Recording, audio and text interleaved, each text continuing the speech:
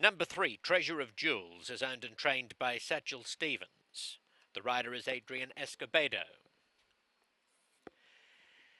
Four, Bad Cardinal, owned by Perry Ansell, trained by Gail Rufu, ridden by Barrington Harvey.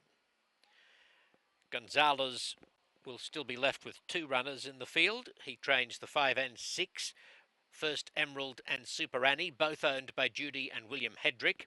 Kevin Camacho is aboard First Emerald, while number 6, Super Annie, will have the company of Henry Lopez. Here come the stewards confirming what we already suspect.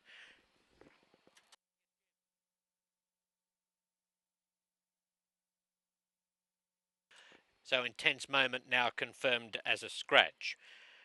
Continuing with the post parade intros. Betsy is the code, carries the number seven saddlecloth beneath Edgar Payeras. Edwin Alvarez is the owner trainer.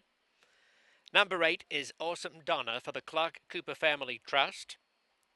Charles Stutz trains. Serapio Figueroa rides. And number nine, Best Year Ever is owned by Moon Han and Sun Han, trained by Salvador Naranjo, ridden by Jose Rodriguez. So confirming the late scratch of intense moment number one. Racing! And one of the first to show is Super Annie with Awesome Donna off nicely. Bad Cardinal going fast. And so is Treasure of Jewels along the inside, followed by First Emerald. Best Year Ever is out deep, four lengths off the speed, and Betsy is the code trail. Super Annie on top by a half length from a line of horses. Bad Cardinal retains the inside. Out deep is First Emerald pressing on for a share of the lead.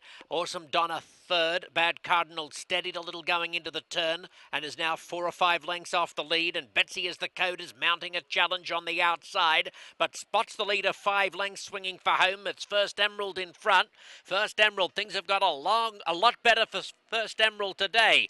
Got around the turn well. Can she hold off Awesome Donna? Awesome Donna lunging after First Emerald, and it's close. Not much between Awesome Donna and First Emerald. Awesome Donna to the winner's circle. By Awesome again from the corporate report dam Queen July. This four year old chestnut filly was bred in Kentucky by Andrew Stronach. She's owned by the Clark Cooper Family Trust, trained by Charles Stutz, winning jockey Serapio Figueroa.